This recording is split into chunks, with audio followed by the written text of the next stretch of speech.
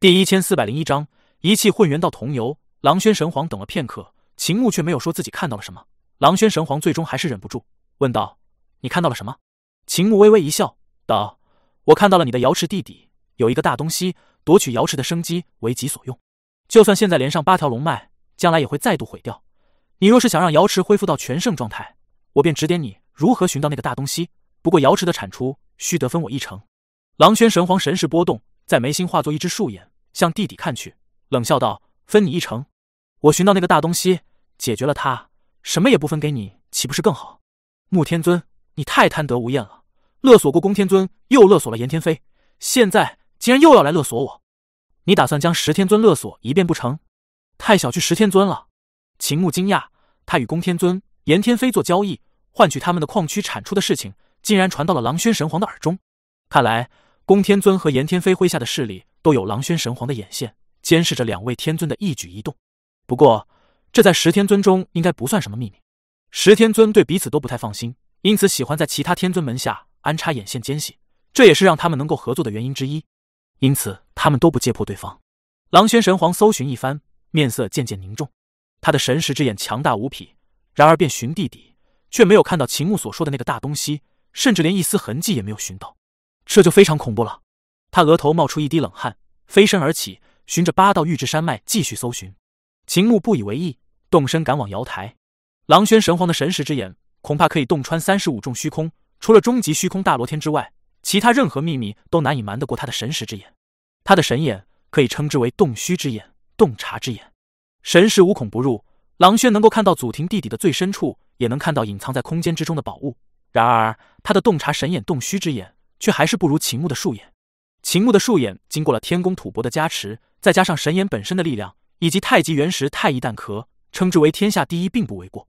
虽然秦牧目前无法发挥出这枚神眼的威力威能，但仅凭神眼自身的功用，便可以看破一切，看破一切。狼轩神皇额头的汗珠越来越多，他寻遍八条矿脉，还是没有寻到那个所谓的大东西藏在何处。瑶池恢复到昔日盛况更为重要，不解决那个大东西。瑶池便是一个可以凝聚鸿蒙原液的大池子，除此之外并无多大效用。既然如此，分木天尊一成的鸿蒙原液也不是不可接受。他看向秦牧，只见秦牧此时正在迈步登上瑶台，感悟瑶池蕴藏的大道，便没有上前惊扰。此时的瑶台变得极为神圣，像是一个祭祀天地宇宙的圣台。秦牧走在上面，像是一个主持天地大祭的祭祀，又像是一个求道者，步步沉稳，神态虔诚。狼轩神皇也迈步登台。他像是一个帝皇，强大的气势绽放，万法不侵，万道不染。秦牧细细感悟登台时瑶池大道的洗礼，聆听道音。而他虽然能够听到道音，但感触感悟却没有秦牧那么多。他太强了，不仅仅是修为实力太强，同样也是他的心态太强，太强势，把自己放得太高。秦牧登上第一重瑶台，与四座天门和九玉台不同。四大天门和九玉台都是魔力道心，无论是四大天门还是九玉台，都极为凶险。倘若无法过去，只怕便是死路一条，而瑶池却是滋润道心，非但没有考验和磨砺，反倒会滋养道心，使道心成长。他的耳畔传来奇妙的音律，似乎是大道在他耳畔低语。他感受到大道如水，如母体，如世间的真善美；又感受到大道如大地，承载一切，养育一切，让人心胸广阔。上善若水，水利万物而不争。地势坤，君子以厚德载物。他站在台上，遥望瑶池。那里已经没有了从前的盛况，但是站在这里看去，却仿佛看到滋润一切生命的瑶池碧波荡漾，水波如龙鳞。他回头看去，化作地母元君的原木此时也无影踪，只剩下一个巨大的天坑。他却仿佛看到原木郁郁葱葱，在太古时代庇护着造物主先民的情境。地母厚德载物，瑶池上善若水。他感应到三十六种地德大道，感应到二十四种上善之道。过了良久，秦牧迈步前行。瑶池是太古时代造物主先民的祭祀之地，祭天祭地，祭宇宙洪荒。那时的人们蒙昧无知，不知自己的力量从何而来，不知自己可以利用瑶台来滋养自己的道心。他们只有一种质朴之心。来到这里之后，只觉自己的心境平静，似乎可以与天地接触，可以与瑶海相连。他们敬重养育自己和万物众生的土地，敬重滋润自己和万物的瑶海。他们在这里祭祀天地宇宙，纪念列祖列宗。这一刻，秦牧也仿佛成为了太古时代蒙昧时期。祭祀天地的造物主的一员，怀着虔诚的形态，感悟着这里的大道气息。他走走停停，花费的时间渐渐变长。狼轩神皇很快超过了他，来到瑶台的第八层，俯仰天地与干涸的海床，心中感慨万千。等到秦牧来到这里，已经是一个月之后。狼轩神皇感应到他的到来，抬手指向干涸的海床，指向海对面的江山，意气风发，高声笑道：“这江山如此壮丽，穆天尊，哪个男儿不希望自己拥有这样的土地？这就是我成为天尊的志向之一。我定要成为整个宇宙的主宰，让浩瀚江山、诸天万界、亿万万星辰星域臣服在我的脚下。”他豪情壮志从胸腔中涌出，指点江山，慷慨激昂，难掩兴奋之色。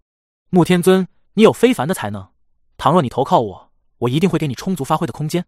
我不像昊天尊那样斤斤计较，我器重你，自然会重用你。将来我的江山有你一份。秦穆不答，身上的道韵越来越浓。突然，狼轩神皇心有所感，回头看来，不由得心头一跳。秦牧竟然陷入一种奇妙的状态之中，隐隐约约与瑶池瑶台的天地大道连为一体。他像是整个人融入到整个瑶台的大道之中，明明站在那里，身躯就在那里，但给狼轩神皇的感觉像是祖庭的大地一样厚重，像是瑶海一样广阔。他像是狼轩神皇适才观看的天地，有天之弥高弥远，有海之弥深弥广，有地之弥厚弥重。他与瑶池瑶台的大道相应相合，先前与狼轩神皇一起参悟时段去的道运，此刻又重新连上。这一次，他竟然无需与狼轩悟道时的道运相连，便可以进入入道的状态。狼轩神皇脸上露出难以置信之色，随即这种神态变成了他眼中神藏的杀机与嫉妒。秦牧与他的资质相差不多，上次两人一起参悟，一起论道，只要气机相连，便可以同时入道，参悟出太初之道的奥秘，进入太初道境。只是那次，狼轩与秦牧都有着顾忌，想起彼此还是敌人，连朋友都谈不上，更别论道友。因此，他们主动断去入道之路，绝不成全对方。而现在，狼轩神皇自身难以入道，秦牧却已经续上入道契机。进入入道的境界之中，为何得到这个机缘的是他，而不是我？他眼中的杀机越来越浓烈，然而却强行镇压下来，猛地一步跨出，走出瑶台，飞身降临到八条龙脉的断处。那些矿奴和监工这段时间都在休息，难得清静了一个多月。众人见到狼轩神皇，慌忙叩拜。狼轩神皇大袖一拂，冷笑道：“给我断去八条龙脉！”那些监工和矿奴不解其意，都是神色呆滞的站在原地。这八条龙脉好不容易连接在一起，让瑶池重新恢复生机，让瑶池又自诞生鸿蒙原叶，变成了祖庭最佳的宝地之一。为何穆天尊这个凶名在外的秦拆拆没有拆掉瑶池，反倒是狼轩神皇这个地主要毁掉自己的宝地？狼轩神皇大怒，杀气腾腾，厉声道：“都聋了吗？还不滚过去干活！”那些监工这才醒悟过来，纷纷催动神鞭，不由分说便向那些矿工抽去，厉声道：“干活，干活！把那些玉石给我扒下来！”诸多矿工连忙动手，将搭建连接起来的玉石拔掉。狼轩神皇游子嫌慢，把那些监工也抽了一顿，让他们也去干活。终于，八条龙脉被截断，祖庭瑶池的大道气息顿时消散消失，八条龙脉也立刻停止喷吐鸿蒙紫气。狼轩神皇松了口气，回头看向瑶台，只见瑶台的大道气息也在飞速消散之中。你是天盟盟主，我不能直接杀掉你，但是却可以断掉你的入道之路，让你无法入道。他目光闪动，我得不到的。你也休想得到，穆天尊，不要怪我心狠手辣。他刚刚想到这里，突然瞳孔骤缩，但见瑶台上的大道气息虽然消散，但从那里传来的道运却越来越强。狼轩神皇心头突突乱跳，秦牧这次进入入道的状态中，竟然无法被打断，杀了他！我的神元意指乃是天尊中最强的神通，只需要一指便可以杀了他。他很想直接一指点爆秦牧，然而在这里杀了秦牧，便会让其他天尊抓住他的把柄。将来天下太平，铲除古神之时，这便是除掉他的最佳借口。然而不杀秦牧，他却不甘心。就在此时，从瑶台上传来的道运浓烈到极限，但见到光从那里喷薄而出，托起一个身影冲天而起，长声吟道：“神识朝圣参天地，一气混元道同游。”第一千四百零二章道境二十六重天。狼轩神皇眼瞳中的杀意渐渐散去，秦牧领悟出的太初之道的大神通，并非是他的神元意志，让他稍稍放心。倘若秦牧参悟出的道境绝学真的是他的神元意志，那么他无论如何都必须出手将秦牧抹杀。神元意志是他的无双绝学，倘若被外人学了去或者悟了去，那么别人便有可能知道他的弱点，这是他绝对不能容忍的事情。他不像火天尊，火天尊可以把自己的绝学，包括自己的功法，都传给昊天尊，把自己的性命交付给昊天尊，他可没有这么大方。一气混元道同游的威力爆发，狼轩神皇眼角突然一跳。刚才放下的心随即又悬了起来，那是太初之道所化的神通，将神识与先天一气完美的结合起来。这一击所到之处，一切都被蒸发，化作丝丝缕缕的混沌之气。秦牧这一招的形态是拜，向前一拜，他的脚下出现瑶台八重台，秦牧站在台上，躬身一拜，前方的一切尽数化作混沌气，一切荡然无存。这一招的威能，甚至比他的神元一指的威能还要强大，蕴藏的道威极其恐怖。当然，狼轩神皇是站在自己的修为实力的基础上去看秦牧这一招的威力威能。倘若秦牧的修为提升到他这一步，一气混元道同游的威力将会超越神元一指良多。现在秦牧的修为不足，还不足以将一气混元道同游的威力发挥到极致。但狼轩已经可以看出这一招的潜力。一气混元道同游这一招让他又动了杀心，但他还是将杀意按捺下来。一气混元道同游虽强，虽然在道境上要超越他的神元一指，但是秦牧的修为境界还是较低，瑶池境界对他来说并没有威胁。杀秦牧的代价太大。是他所无法承受的。天空中，秦牧缓缓降落，依旧降落在瑶台上。狼轩神皇向那里看去，只见少年的飘动的衣衫正在缓缓的落下，恢复平静。秦牧站在那里，闭目凝神，一动不动。狼轩神皇心中一突，难道他还在悟道？这资质和悟性未免太好了吧？好在秦牧并非是在悟道，他身上并无入道的道运传出，让狼轩神皇松了口气，心道：瑶池是我的。我与穆天尊都只差一步入道，穆天尊能够在瑶池上入道，参悟出太初大道的神通，那么我也行。他的心头不由热切起来。他已经有了神元意志，这门神通其实也是入道神通。他本身便身兼造物主和天地太初的血脉，作为半神之中最顶尖的血脉，他在出生之时便天生拥有神通。等到他长到成年，他在神识和先天仪器上的造诣便已经极为高深，无需参悟便可以动用强大无比的神通。这是成年半神的长处。天赋伴随血脉而来，随着年纪增长而增强。他身兼神识与先天一气两种大道。等到龙汉七天尊开创神藏体系，秦穆昊天尊待遇天尊传授成神法，狼轩这位半神的始祖也转修神藏天宫体系，开发神识之道和先天一气的威能。从前他是天赋神通，只会用，不知其原理。而修炼神藏天宫体系之后，他便自主创造神通。他想要将神识和先天一气融合，只是始终无法开创出这种神通。直到古神天帝死后，道祖奉命以宏观术数解西天地肉身中蕴藏的大道符文，这个局面才被打破。他参悟天地肉身中的大道符文，突然符至心灵，不由自主进入入道状态之中，便开创出神元意志。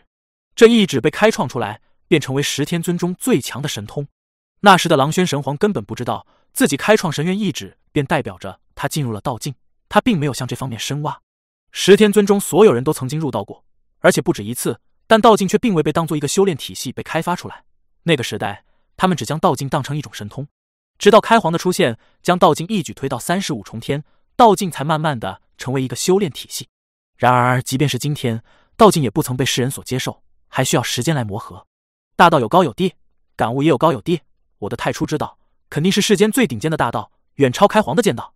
参悟出太初道境，我的修为实力。肯定大大提升。狼轩神皇心中一片火热，下令让那些监工和矿奴修复八条龙脉。那些监工和矿奴一肚子怨气，却不敢说话，只得老老实实的修复着八道山脉。心道：刚才让人拆，现在又要搭起来，神皇是被秦差拆夺舍了吗？狼轩神皇满面春风，向瑶台走去。他要重走瑶台，参悟瑶台道庙，进入太初道境第二重天。然而他踏上瑶台时，还是不曾感悟到什么。狼轩神皇心中焦躁。一重台一重台的向上走去，但始终没能感悟到什么。诚如他所说，大道有高有低，感悟有高有低。比如秦牧的剑道，仅仅是开劫、提劫、阴劫三重天，但仅凭剑道便可以与神刀落无双的刀道十三重天斗个不相上下。狼轩神皇的太初道境第一重天，便被尊为十天尊中攻击力最强的神通。倘若他能继续参悟下去，第二重天的威力肯定更强。然而他已经失去了真至太初道境第二重天的机会。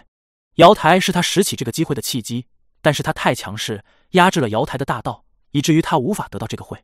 狼轩神皇登上瑶台第八层台，面色变得有些难看，阴沉着脸。在他前方，秦牧背对着他站在那里，周身沐浴在瑶台的鸿蒙之气之中，气息氤氲。狼轩神皇按捺下杀意，走上前去，却见秦牧的气机在徐徐提升之中，修为在水涨船高，不断增强。他心中难掩嫉妒，以为秦牧是在他的瑶池入道获得的好处。却不知秦牧之所以修为不断提升，并非是靠入道，而是他在重新铸炼自己的天宫中的瑶池和瑶台。秦牧的霸体三丹宫容纳了十九座天宫，单单是重铸一座天宫的瑶台瑶池，都会带来修为法力上的不小提升。更何况十九座天宫的瑶台瑶池都被重新铸炼一遍，而今秦牧的瑶池瑶台契合祖庭太古瑶池瑶台，并且在瑶池中打造了八条龙脉，八条龙脉建成带来的奇妙感觉也是无与伦比。当他的第一座天宫建成八条龙脉和瑶池时，他的瑶池中立刻充满了鸿蒙元气，元气在缓缓凝聚，化作鸿蒙元液。当然，鸿蒙元液形成和滴落的速度很是缓慢，而且不是真正的祖庭元液，但对修为的提升却是显而易见。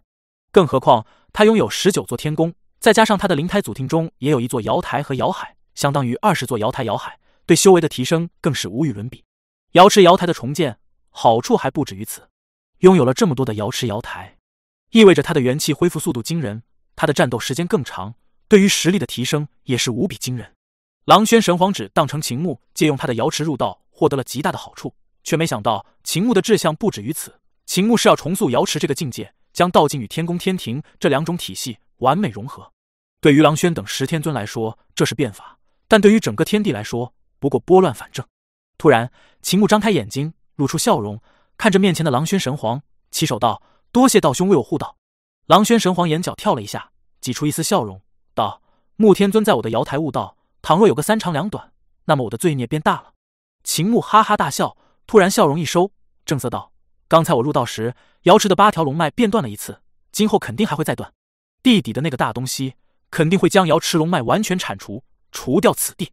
神皇，瑶池铲除两成归我，我帮你寻出那个大东西。这个条件，神皇考虑的怎么样了？”狼轩神皇勃然大怒，喝道。你先前明明说的是一成的鸿蒙元液，为何而今却又变成了两成？他的话音刚落，突然瑶池地底传来剧烈震荡，只听轰隆一声巨响，狼轩神皇急忙转身向瑶池看去，只见八条玉质山脉竟然突然断裂，每一条山脉竟然都断成了三五节，像是地底有什么巨大的魔怪挥起利爪，将瑶池的龙脉一爪撕裂。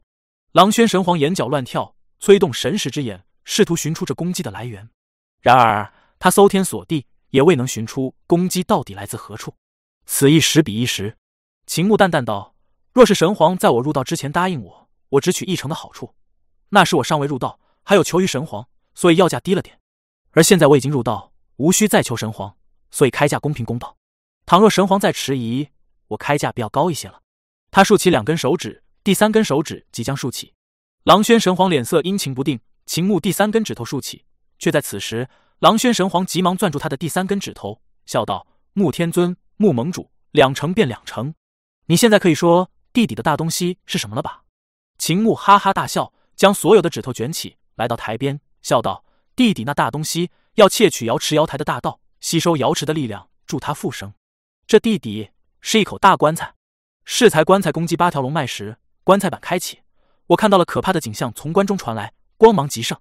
狼轩神皇向那里看去。”却看不到哪里有什么棺材，不禁纳闷道：“那口大棺材在何处？”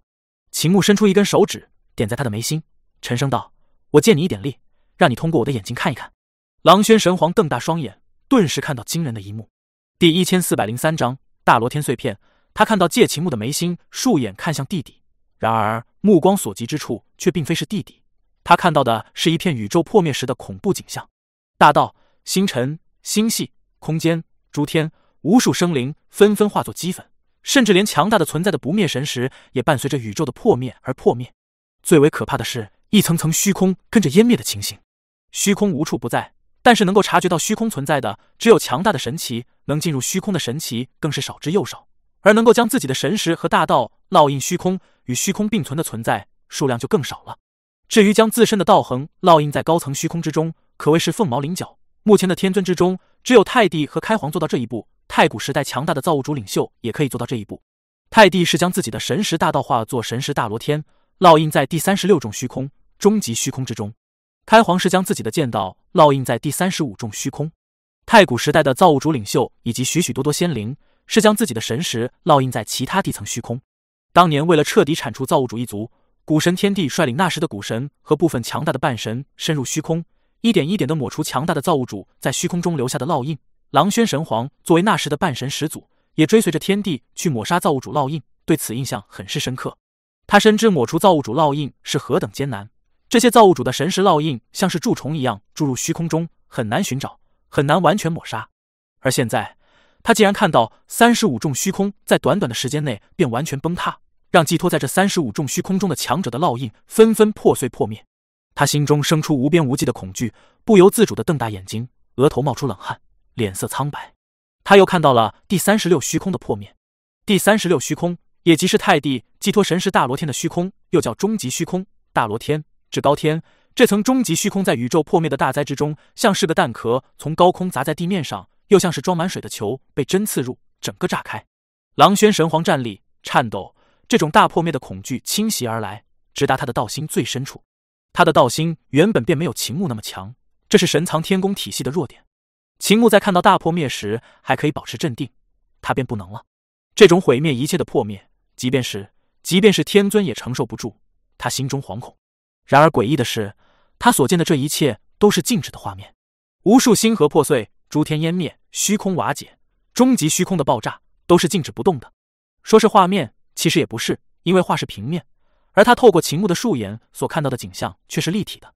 这时，他看到了秦牧所说的那个大东西，那是一口棺椁，从终极虚空的大罗天中飞出的棺椁。棺椁不知是什么神经所铸，泛着金属的光泽，但是随着宇宙的破灭而腐朽，上面布满了锈迹。棺椁表面烙印的满满都是狼轩也不认识的大道符文，在宇宙大破灭中，伴随着一块大罗天的碎片飞来，似乎是在向他们飞去。这口棺椁奇特之处在于，它处在大罗天的碎片中。而那个碎片中有一座巨大的木质祭坛，棺椁坐落在祭坛上，高高竖起。大罗天碎片已经有一半进入祖庭，埋入祖庭的地底。狼轩神皇之所以看不到他，是因为他的神识之眼看不到大罗天。狼轩神皇看着这一幕，有些不明所以。秦牧的声音传来，悠悠道：“这棺椁中的存在是上一个宇宙年中的强者，他在宇宙大破灭的那一刻，试图通过献祭进入咱们这个宇宙。他所身处的时间点极为奇特。”棺材的后端，在他那个宇宙时空不存，还停留在大破灭的那一刻，借着大罗天碎片保全自己；而棺材前端却已经进入咱们这个宇宙，而且已经在我们这个宇宙中存在了漫长的岁月。狼轩神皇有些不太明白，疑惑的看着他，问道：“他在我们这个宇宙存在了多少年？大概从宇宙开辟之初便已经存在了。”秦牧也不敢肯定，道：“他大概在宇宙开辟之初便开始窃取瑶池的鸿蒙原液。”只是那时他应该有所顾忌，怕被那时的古神和造物主发觉，因此不敢肆意窃取瑶池的力量。等到造物主和古神、半神都离开祖庭，把这里封印，他便无所顾忌，直接断了瑶池的八条龙脉，肆意窃取瑶池的力量。狼轩神皇晃了晃头，声音沙哑道：“这怎么可能？他怎么可能一半停留在上一个破灭中的宇宙，一半在咱们这个时代？倘若你把时间这个因素抹去，便可以理解了。”秦牧认认真真的为他解释：“时间不存。”去掉时间，即便是宇宙的破灭和诞生，也不过是能量和物质之间的转变。能量化作物质的过程是宇宙扩张的过程，物质化作能量的过程便是宇宙塌缩的过程。物质的改变引起时间流逝这种错觉。他从上一个宇宙试图进入咱们这个时代，只不过是他想不把自己变成宇宙破灭的能量，于是从咱们这个时代窃取能量，把自己替换过来。这就是他窃取瑶池力量的原因。他需要维持两个宇宙间的智能平衡。狼轩神皇还是有些不解。但是他却知道有人用这种理论获得了极大的成功。凌天尊的不义神通便是让人无法理解的一个谜团。凌天尊将这种神通开创出来之后，十天尊震动莫名，因为未知，所以恐惧。十天尊几乎尽数出动，务必要除掉凌天尊。然而被明方宇夺得头筹，元神入主天地肉身，击杀凌天尊于天河之上，以至于明方宇的元神与天地肉身一起消失无踪。神皇这个史前强者，乃是高居在大罗天上的存在，他的实力。凌驾在十天尊乃至任何天尊之上，他倘若进入祖庭，那么十天尊的统治便会瓦解，他会成为高高在上的存在。秦牧循循善诱道：“他为了自己的权势，要么除掉十天尊，要么降服你们。作为十天尊这个时代的统治者，你应该怎么做？”狼轩神皇回过神来，目光闪动，笑道：“但是我不会让他进入祖庭，进入瑶池，更不会让他窃取瑶池的力量。”秦牧松了口气，闭上眉心竖眼，道。有神皇镇压在这里，我便放心了。狼轩神皇看着他，微笑道：“穆天尊，他隐藏在瑶池地底，与其等到他窃取了足够多的力量进入祖庭，不如索性将他赶回到他的时代中去。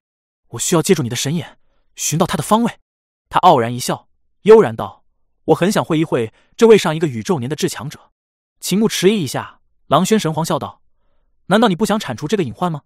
秦牧仔细打量他的面孔，狼轩神皇坦然笑道。我是石天尊，这个宇宙的统治者，自然要为这个时代考虑。秦牧松了口气，笑道：“既然神皇有这份心意，那么我便成人之美。神皇，你和我都不足以来到那块大罗天碎片中。我有一种神通，叫做彼岸神州渡。倘若我借用你的力量，说不得便可以进入那块大罗天碎片。狼轩神皇心头微震，默默点头，赞道：“穆天尊懂得真多。”秦牧心中警觉，笑道：“我修为境界低，所以平日里就喜欢瞎捉摸些神通。”狼轩神皇打个哈哈道：“你的修为已经极高了，试问谁能在五十多岁修炼到你这一步？别的不说，能够在五十年修成瑶池境界，成为天神，诸天万界的天才之中，有这种资质的已经是凤毛麟角了。更何况你的实力还不止于此。”秦牧也打个哈哈，好说好说。狼轩神皇滔天般的法力涌来。秦牧立刻借用这股法力来施展彼岸神州度。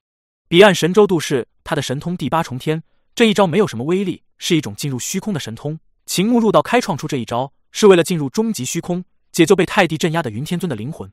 但是他现在的修为尚弱，远不能进入终极虚空，最多只能来到第二十九虚空、第三十虚空。然而此刻有了狼轩神皇的相助，秦牧顿时法力暴涨，神识也变得无比强大，一声长啸，彼岸神州度爆发。一艘彼岸神舟飞速在他与狼轩神皇脚下形成，神舟飞出，船头向下，速度难以想象，轰然向瑶池地底驶去。船头，狼轩神皇看着迎面冲来的海床和碎石，急忙抬手护住面目。然而这艘船剧烈震荡中，却没有撞击在地面上，而是在与地面接触的一瞬间，驶入地底的一重重虚空之中。这艘船飞速穿梭，霎时间穿过一重重虚空，直达第三十五虚空，直奔那块大罗天碎片而去。狼轩神皇心脏砰砰剧烈跳动，他终于可以凭借自己的眼睛看到那块大罗天碎片和碎片中的祭坛，以及祭坛上的那口神秘巨棺。风驰电掣中，他仰头看去，仰头便见瑶台瑶海处在彼岸方舟和大罗天碎片的上空，祖庭的土地像是不存在一般。他甚至可以看到那些矿奴和监工站在虚化的山峦旁边，虚化的土地上。这幅景象令他啧啧称奇。轰！彼岸方舟撞击在那块大罗天碎片上。撞得整艘船轰然炸开，船头上的两人在空中连翻带滚，待站稳身形，只见他们已经冲入那块大罗天碎片中，漂浮在那口棺椁的前方。那口棺椁太大了，古朴的锈迹尽显古老沧桑，越是到棺材的下方，便越是腐朽。即便是上面的符文大道烙印，也被消磨的威力大损。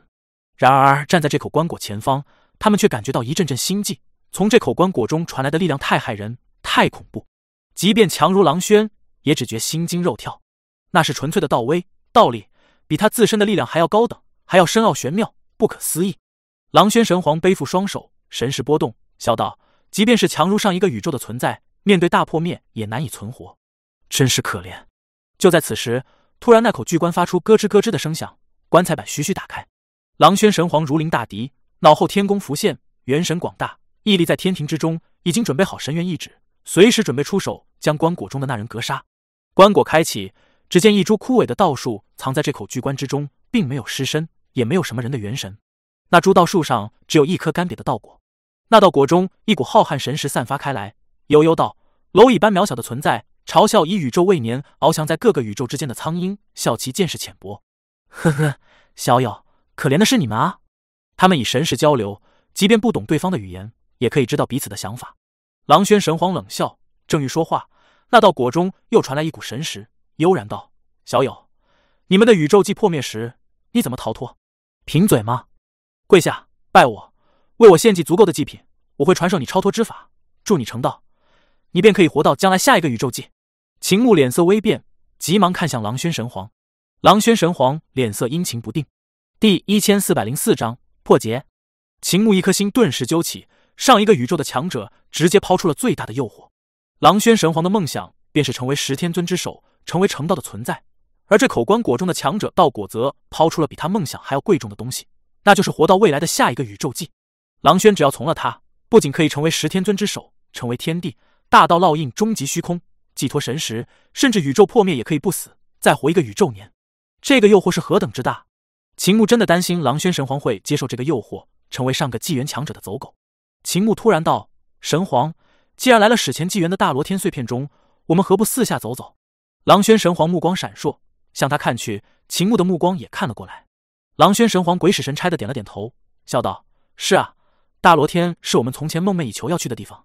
这里虽然不是真正的大罗天，只是碎片，但能够见识见识也好。”两人离开那口巨棺，并肩走去。秦牧细细观察大罗天碎片，又用手触摸这片虚空，他的手掌稍稍一按，大罗天碎片中竟然多出了一个掌印。过了片刻，才缓缓消失。他又催动自己的元气，尝试着烙印几个大道符文，竟然烙印在大罗天上。只是没多久，他的烙印便消失不见。但是当他的大道符文烙印在上面的时候，他竟然感觉到自己的道心与这片大罗天相融，有一种天心即我心的感觉。不仅如此，他还有一种更为古怪的感觉：大道符文烙印于其上，让他感觉到无道长存，与宇宙同寿。天心即我心，无道长存。这是大罗天的妙用，只可惜，当他要细细感悟的时候，便觉得自己的道心变得无比污浊浑浊，根本无法感应到大罗天的奥秘。而天心我心无道长存的感觉也很快随着烙印的消失而消失。秦牧尝试以神识烙印，同样也能烙印上，但也会很快消失。他心中升起无比古怪的感觉：大罗天像是一块可以自我恢复的印泥，可以塑造成不同的形态。不过这里只是大罗天的残片，真正的大罗天是什么样子？是否也能这么烙印？狼轩神皇也在尝试着探索大罗天的奥妙，但即便强横如他，也无法让自己的大道永恒的烙印在这里。他的道心更差，道境更浅，不过他的力量太强，烙印存在的时间也比秦牧更长。终极虚空大罗天真是神妙，我感受到将自己的大道烙印在这里，便会永生不灭。即便我被人杀了，毁掉肉身，毁掉神识，毁掉元神，甚至毁掉我的一切，我依旧不会死。狼轩神皇感慨万千道：“太帝能够死而不僵。”也是靠他的神识大罗天的作用。开皇秦业还是了不起。太帝虽然得其道，却不明其因，唯独开皇开辟出了道境之法，可以造福后人。秦牧笑道：“神皇羡慕变法，羡慕开皇。”狼轩神皇摇了摇头，迟疑一下，又点了点头。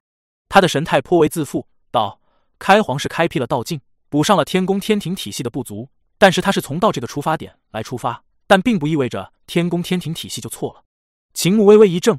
向他看来，虚心求教道：“神皇何出此言？”他是以道成道，用道境道心不断提升自我，最终达到烙印终极虚空，修成见道大罗天的程度。狼轩神皇不紧不慢道：“我适才以我自身的力量，试图烙印大罗天，虽然没能成功，我却看到了成道的希望。天宫天庭体系注重力量，修炼到大天庭的境界，便可以以力成道。”他豪气万丈，朗声道：“无需感悟什么狗屁天心。”无需感应什么无道长存，我练成大天庭后，我的力量无比强横，直接将我的烙印在大罗天上，管他娘的大罗天乐不乐意！秦牧瞠目结舌，过了片刻，赞道：“神皇是大才。”狼轩神皇微微一笑，道：“开皇也是大才，不弱于我。”秦牧哈哈大笑。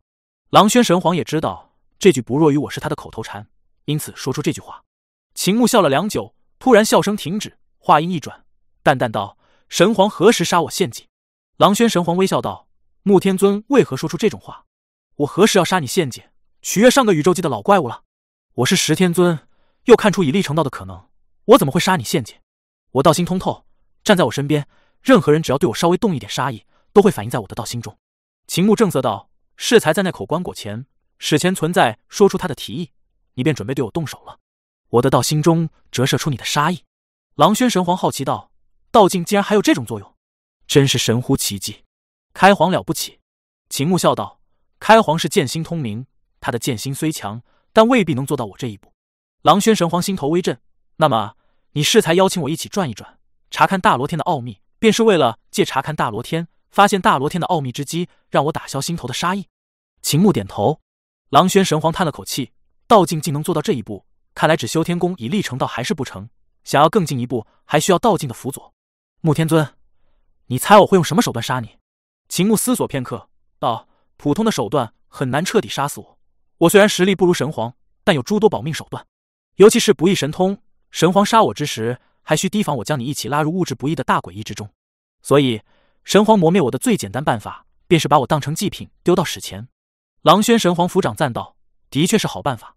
史前宇宙大破灭，物质不存，把你丢进去，你便会被磨灭成一团能量，不复存在。”就算有人能与你一样会招魂塑魂的法术，也无法将你的灵魂黑纱照来。这的确是彻底除掉你的最佳途径，而且把你丢到史前很是容易。这块大罗天碎片另一端就处在史前宇宙的大破灭中，我只需稍稍推你一把，你便会跌进去。秦牧沉默，但我不会杀你，最低目前不会。狼轩神皇哈哈大笑，转身向那口立在祭坛上的棺椁走去，悠然道：“你的道心通透，还是无法折射出天尊的想法，穆天尊。”你太高看自己了。我已经领悟出以力成道的道路，无需借助史前存在的点拨，更无需跪他拜他。他转身离去的一瞬间，秦牧也暗暗松了口气。秦牧的道心中，狼轩神皇对他的杀意终于彻底消失。从他邀请狼轩神皇探索这片大罗天，到他询问狼轩何时杀他，他的一举一动、一言一行，都是为了彻底打消狼轩对他的杀心。因为在那位道果中的存在对狼轩说出那些话时，狼轩的确对秦牧动了杀意，极为强烈的杀意。那时的狼轩的确想向那位道果中的存在跪拜，的确想学习他的成神法，的确想成为当今宇宙的主宰，的确想活到下一个宇宙纪。直到刚才，狼轩的杀意这才完全消失。倘若没有去过九玉台，我此刻只怕已经死了。秦牧微微一笑，迈步跟上狼轩。现在他已经没有了性命之忧。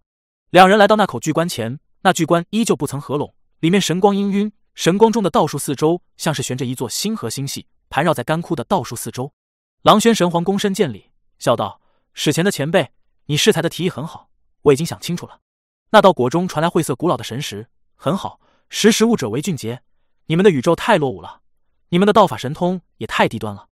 我传授给你我的绝学，会让你一举成为当今世上最为强大的存在。”狼轩神皇直起腰身，打断他的话，笑道：“前辈，我现在给你两条路。第一条路，滚回你的宇宙，乖乖受死；第二条路，把你的感悟统统交给我。”滚回你的宇宙，乖乖受死！前辈想走那条路？你那道果中的声音勃然大怒，卑微的蝼蚁竟敢对我如此不逊！你当知道，看来你选择第一条路。狼轩神皇哈哈大笑，脑后天庭上元神突然出手，神元一直点入巨棺之中。不过前辈，我还是想让你走第二条路。你可以滚回去受死，但你的道果必须留下，因为我狼轩看上你的道果了。轰！巨棺中无比恐怖的悸动传来。那史前存在的道术摇曳枝条，星汉璀璨，道果中无比可怕的威能爆发，竟然挡住了狼轩的神元意志。狼轩神皇暴喝，元神一指又一指点去，连连点动，每次都是神元一指。他的入道神通只有这一招，若是换做旁人，肯定会四下里躲避。然而那口巨棺就在木质祭坛上，一半进入祖庭，一半还留在史前宇宙纪。面对大破灭的浩劫，根本无法躲避。狼轩神皇连续打出不知多少击，突然巨棺光芒大作。棺内传来惊天动地的一声巨响，那道树上的道果终于被他以神元一指击落下来。狼轩哈哈大笑，探手抓去，将道果抓在手中，随即身形飞起，落在棺椁顶端，双足发力，厉声道：“滚回去受死！”巨棺和那木质祭坛震荡，被压回史前宇宙年。因为棺中没有了道果，那祭坛和巨棺随即在大破灭中化作齑粉，荡然无存。狼轩神皇落地，举起道果，放声大笑：“穆天尊，其他天尊。”你们臣服于我的日子快要到了。秦牧站在一旁微笑道：“恭喜神皇。”第一千四百零五章娘蛋的泰帝。狼轩神皇高举道果，反反复复打量，心中无限欢喜。回首再看秦牧，似乎也不再那么形容讨厌了，反倒还有点可爱。穆天尊，在我麾下好好干。他禁不住笑道：“朕就喜欢看你做奸臣，弄臣不得不巴结我的样子。”秦牧善意提醒道：“神皇，这道果中蕴藏史前强者的神识，当心被夺舍。”倘若神皇真的能从这枚道果中提炼出永生不灭的大道，那么我做你的权臣弄臣却也没什么。说罢，哈哈大笑。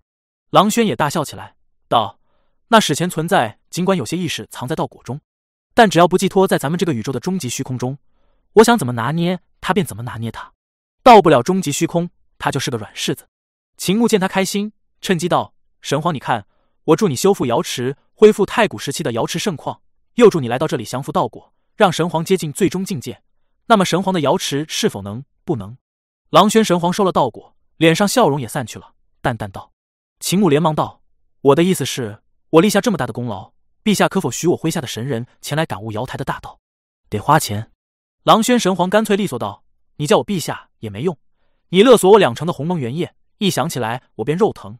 想让你的人进入瑶台参悟，得花钱。”秦牧怒道：“一点情面也不讲。”狼轩神皇含笑点头，竖起两根指头，想让你的人来瑶台参悟，两成鸿蒙原液还我。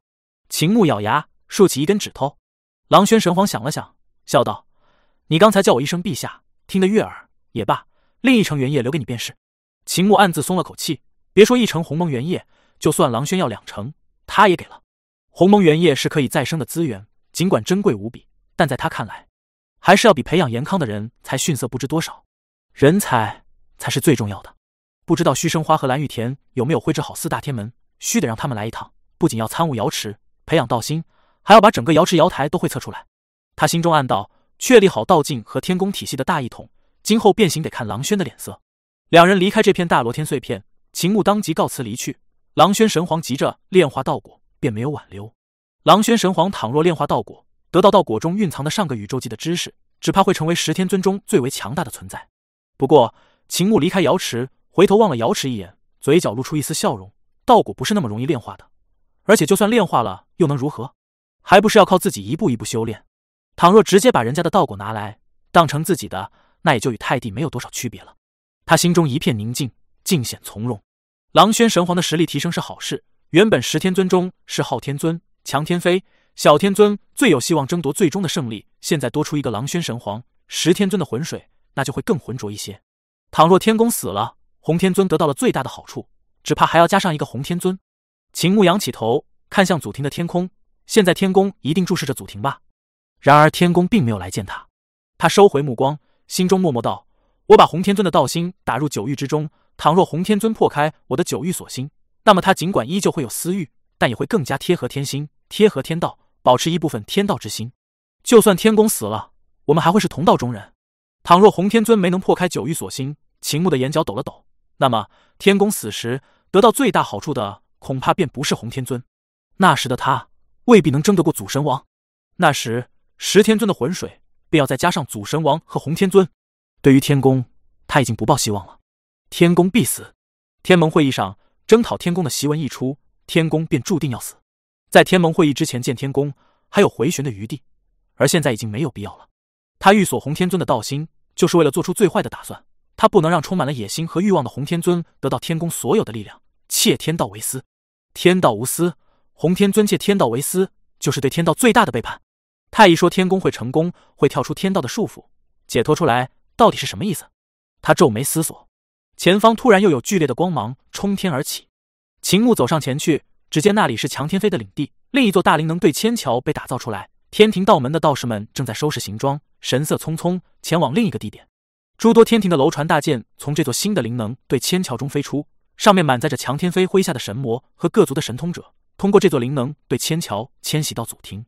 这些楼船四下飞去，寻找适合的定居点。秦牧看向天空。而今已经有了三道灵能对千桥连接天庭，等到所有的灵能对千桥建起来，便可以把天庭拉到祖庭之中。天庭原本居于元界上空，后来飞出元界，再到现在回归祖庭，让秦牧感慨万千。神器玉天尊，秦牧心头一突，突然看到那个灵能对千桥中一尊神器玉天尊走出。那尊神器玉天尊身躯高大伟岸，遥遥看向强天飞的领地，冷笑一声：“这应该是元母夫人的神器玉天尊吧？”秦牧目光闪动。现在祖庭正面最为显眼的圣地都已经被各位天尊划走，留给元母夫人的宝地已经不多。元母夫人的神器玉天尊现在跑出来，难道是为了搞事，从其他天尊手里抢夺领地？元母夫人不会是看上了太帝的领地吧？然而出乎他的预料的是，神器玉天尊并未对强天飞的领地下手，而是腾空飞起。在他飞起的一瞬间，一道龟须大渊突然出现在天空中，将神器玉天尊吞噬。鬼鬼祟祟的，元母这小娘皮一定又在搞什么事情？秦牧兴奋起来，眉心竖眼开启，看向虚空，观察神器玉天尊的动向。这时，他突然看到强天飞的领地中，一个人影冲天而起，却没有引起任何波动，没有任何气息散发出来，悄然无息地潜入虚空中，追踪神器玉天尊而去。是太帝那个小娘皮？呸！是强天飞那个小娘皮！秦牧更加兴奋。强天飞是太帝的转世身，他也发现了元母夫人的动静，在前宗追踪元母夫人。他看向强天飞的领地。那里是祖庭斩神台，煞气极重，可以说是整个宇宙中煞气最重之地。远远看去，只见两道血煞腾空，纠缠在一起，比世间最庞大的龙卷风还要庞大。那两道煞气血红，锋利无比。秦牧远远看一眼，便不由自主打个冷战。斩神台的血煞到底是怎么形成的？为何煞气这么重？他很想进去体验一下斩神台，但仅仅在强天飞领地的外围，他便感觉到这种血煞之气对天地大道似乎都有威胁。来到这里，他只觉自己体内的大道符文在一个个破碎，被切成两半。祖庭斩神台不可能这么强，秦牧不由连打几个冷战。他的元神也感觉到无比犀利的力量倾袭而来，像是无数口锋利之极的刀，随时可能斩下。更为可怕的是，斩神台斩道心。天庭的斩神台是斩神之地，斩忤逆之神的肉身元神，但是不斩道心。洛无双被称为天庭第一神刀，是因为他的刀法出众。踏入道境，他一人一刀进入天庭斩神台，最终凭借自己的刀道安然走出斩神台。不过秦牧怀疑，倘若洛无双去的是祖庭斩神台，只怕仅仅道心这一关，他便未必能过去。洛无双的道心虽强，但还未修炼到道境二十四重天的高度。斩神台的威力非同小可，斩不了我的道心，但有可能会斩我的肉身或者元神。秦牧收回目光，眼瞳中竟然还有两道血色刀光在飞舞，过了片刻才被他磨灭。这座斩神台应该是吸收天底下的煞气凝聚而成，威力太强了，多半是斩杀过太古时代异常强大的存在，吸收了太多的鲜血。他原本打算修成瑶台之后，直接穿过斩神台，修成斩神台，他便是九玉台境界的大高手，便可以去寻玉京城。毕竟他已经度过了玉锁道心这一关，从九玉台中活着走出来。但是他轻视了祖庭的斩神台，四天门、瑶台、九玉台等地方都不会自我成长，然而斩神台这个地方。竟然可以自我成长！太古时代一定有造物主各族的领袖把战俘或者叛变者送到这里，让斩神台斩首，鲜血将这座斩神台喂得越来越强，强大到虽然是天宫境界中的第四个境界，但是其威力只怕砍杀几个地座强者也如同砍瓜切菜，利索无比。这座斩神台的危险程度要远超九玉台。他娘蛋的太帝答应让我进入斩神台磨砺，果然是他娘的不安好心！秦牧大骂，他现在的实力。也就是可以与帝座境界的存在抗衡，不过他靠的是神通的玄妙，他精通各种冷门的道法神通，如太初之道、太极之道、太始之道、太素之道，以及凌天尊的不义神通。他的肉身和法力还没有强大到可以与帝座强者媲美的程度，元神也没有达到帝座强者的程度。太帝许他进入斩神台磨砺，分明是想借斩神台之威砍了他。娘蛋的太帝！秦牧又骂了一嗓子，突然施展出归虚一气声，不过他只施展了半招。一道归墟大渊出现，他迈步走入归墟大渊中，身形消失。元母、太帝，我倒要看看你们在搞什么名堂！良久，秦牧眉心竖眼张望，终于追寻到强天飞的踪迹。强天飞追踪元母夫人的神器玉天尊，来到一片黑沙大漠之中。秦牧四下看去，心中纳闷：这里应该是太极矿脉所属的太极星域。元母夫人来到这里做什么？就在此时，他看到了神器玉天尊。神器玉天尊藏身在归虚神通中，在虚空中潜伏。秦牧不解，元母这小浪蹄子似乎也在追踪什么人。这时，他看到一个绝色佳人正在黑沙大漠中漫步，向太极矿脉走去。绝无尘，是帝后娘娘。秦牧也隐藏在归虚神通中，瞳孔微缩。绝无尘是他给严天飞的。当时为了交易太史矿脉的产出，他把帝后肉身连同绝无尘一起交易给严天飞。现在，帝后娘娘入主绝无尘的肉身，来见太极矿脉中的古神。第一千四百零六章大争之势将至。古怪，造物主都不知道有太极之地这个地方，能够寻到的也只是一个假太极矿区。帝后娘娘是怎么寻到这里的？秦牧心中纳闷。太极之地的古神极为奇特，是双生古神，别的神卵都被挖出来，唯独这两位古神逃过了一劫。而且这两位古神极为聪慧，当初秦牧靠太素寻到这里，展现出非凡的神通造诣，让矿区奈何他不得。于是，这两位古神便直截了当的与秦牧谈条件，给了他一百块太极神石和一块太极原石，告诉他大黑木的方位。帝后娘娘寻到这里，没有古神的指点绝对不成，只有卵生古神才能寻到太极之地。那么，指点帝后娘娘的到底是太素神女，还是小天尊？太素在帮助昊天尊，是不可能再去指点帝后。小天尊与帝后有着深仇大恨，就算小天尊肯指点，帝后也未必肯来这个地方。太史在我这里。太医更是不会露面干涉世事，那么指点帝后来到这里的，唯有秦牧面色古怪，唯有太极古神自己了。太素寻到了昊天尊，作为他争雄天下、夺回太素矿脉的助手，助他成道。太极古神的矿脉还是完整的，拉拢帝后娘娘的原因，恐怕也是为了在十天尊中寻找一个帮手，作为争雄天下的帮手。这两位古神并没有像他们说的那样淡然，那样淡薄。他很快做出自己的判断，搞事的不是元母夫人，而是太极古神。这两位古神一定是见到石天尊开放了祖庭，知道自己的矿脉很难保全，不知何时便会被人发现，因此早做准备。他们要入世了。此时，元母夫人的神器玉天尊在盯着绝无尘，强天飞则在盯着他，秦牧则同时盯着他们三人。绝无尘恍若无觉，继续向太极矿脉走去。渐渐的，秦牧察觉不对劲之处，急忙四下打量。绝无尘走的地方，并非是前往太极矿脉的中心，照他这种走法，只会偏离矿区。不会进入真正的矿区。是了，太极古神察觉到有人跟踪他，制造了一个假矿区。秦牧顿时醒悟，这两位古神造假最是拿手。而帝后娘娘也不仅仅只有绝无尘这尊肉身可以动用，还有她的真身。她不再追踪强天飞、绝无尘和神器玉天尊，悄然无息的退去，径自赶往真正的矿区。太极矿区对他来说是轻车熟路。上次来到这里，他需要太素神卵调动琉璃青天状的力量，才能穿过凶险无比的太极星域。而这次，他精通太初、太始、太素、太极四种大道神通，深入太极星域，半点危险也没有。秦牧一路循着矿区而去，过了良久，猛地回头，但见他早已离开祖庭的大陆，来到一片浩瀚的星空之中。他转过头来，前方依旧是大漠，依旧是在祖庭，这便是太极星域的非同寻常之处。这两尊古神神通广大，太帝、元母夫人也是祖庭的地头蛇，但想要寻到太极矿区，只怕也会大费周章。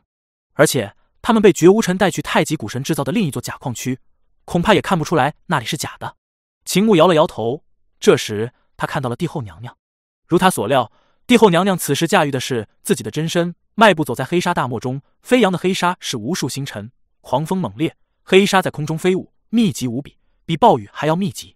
这些沙尘是星辰，狂风卷起黑沙吹拂，砸在人身上，相当于无数个星辰砸下来。凭借自身的实力去抵挡，很难穿过这片大漠。秦牧身形虚化，变成有形无质的太史状态，任由这些黑沙灵体砸在他身上，从他体内穿过，却没有伤到他分毫。说来古怪，黑沙大漠如此凶险，然而帝后娘娘所走的道路却是一片风平浪静，两旁是黑风呼啸，黑沙乱舞，而她的身前却是一片坦途。的确是太极古神在引导着他。秦牧心道，他仔细观察四周，太极古神应该是没有发现他。从他体内穿过的黑沙密度与其他地方一样，并非是针对他。倘若发现了他，这两尊古神应该可以针对他，让太极星域产生更多的变化。虽然无法将他击杀，但是却可以让他摸不清矿区所在。终于，帝后娘娘来到太极星域中心，一条如同龙纹的山脉贯穿了整个星域，将星域分为两半。对于秦牧来说，这里是星域。对于他来说，这里只是一片荒漠，他眼中所见的便是荒漠。帝后娘娘登上山脉，只见前方一座座山头自动移动，有的山峰突然从没有生命的石头化作拥有生命和血肉之躯的巨兽，自动站起来为他让出道路；有的谷地自动隆起，化作坦途。两位古神还是偏心，上次我来这里，他们百般阻挠阻拦，而帝后来到这里，却一副死皮赖脸的讨好模样。秦牧不禁摇头，跟随着帝后娘娘走入矿区之中。帝后娘娘一路前行，进入矿区，四下打量，但见矿区物质变化莫测，让她也不禁啧啧称奇。她虽然也是古神，但是却没有太极古神这样的能力。作为归墟的女神之一，母仪天下的帝后，她对太极古神的能力却也羡慕非常。终于，她来到太极矿区的中心，只见一座天然的八卦祭坛耸立，七块太极原石拱围着一颗古神卵，散发出静谧的道光，与这片矿区相融，极为祥和。帝后娘娘向祭坛中的古神卵拜了一拜。款款落座，道：“道兄这里倒是清静，无人惊扰。不知道兄唤哀家前来，所谓何事？”那卵中道音震荡，化作一个声音，时男时女，笑道：“请妹妹前来，共谋大事。”帝后娘娘微微一笑，并没有立刻接他的话茬，打量四周，道：“道兄这里虽然清静，但是却似乎有人来过这里，连道兄的原石也少了一颗。”卵中传来男音，笑道：“说来惭愧，几年前一位不速之客摸索着来到我这里。”勒索了我一块原石和百块神石，帝后不禁动容，好奇道：“何人胆敢勒索道兄？”那人便是跟踪在妹妹身后的秦牧穆天尊。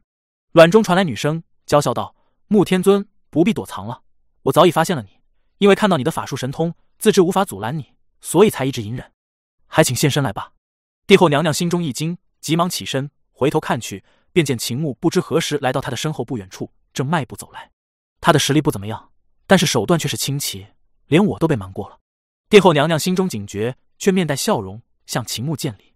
秦牧还礼，又向八卦祭坛上的古神卵剑礼，与帝后娘娘一起落座下来。他习惯性的探手拔剑，想像上次那样把自己的神剑插在祭坛上，却摸了个空。这才想起来自己的残剑被开皇的无忧剑击碎，心中略感惋惜。天盟会议上，开皇也太不讲情面了，弄碎了我的剑，彰显他的剑道才是第一。否则我这口剑插在祭坛上。便可以让太极古神想起被我胁迫支配的恐惧，省得他们在我背后耍什么花招。他精神一振，笑道：“卵中两位道兄真是自在，竟然邀请帝后娘娘前来喝茶，却不邀请我，咱们的交情何在？”两位给我指点的祖庭第一圣地，祖庭大黑木，十万座大黑山，鸟不拉屎的地方，我占了。我还未曾谢过两位呢。卵中传来男子哈哈的大笑声，朗声道：“穆天尊修要得了便宜还卖乖，你在大黑木那里得了无数好处，还需要我来点名吗？”女古神的声音传来，脆声声道：“对于别人来说，那是祖庭第一兄弟，但对你来说，则是第一圣地。我们这么说，没有说错吧？”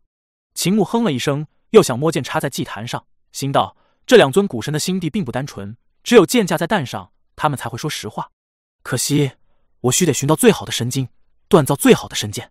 话说回来，我好像被哑巴爷爷忽悠了，他骗我说我炼制的残剑是最好的神兵，他怔怔出神，不知不觉又在揪下疤的胡须。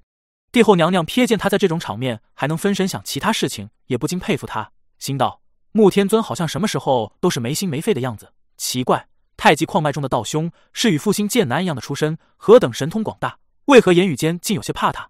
他却不知秦牧上次来经历了重重艰难险阻，若非学会物质不易神通，早就被太极古神和矿区弄死，尸体都能摆出千百个不同的姿势来。太极古神正是因为奈何不得他，又被他把剑插在祭坛上，受他威胁，因此才对他有些畏惧。当然，这种事情卵中古神是不会告诉帝后的。道兄，你们召唤哀家前来，所谓何事？帝后娘娘问道：“卵中响起男声，笑道：‘几年前太素来寻我，要我出山共谋大事，我不肯。但他不依不饶，他出声的走，我们奈何不得他？无奈之下，只得告诉他去寻昊天尊。’帝后娘娘心头微震，另一位卵中古神去寻昊天尊了。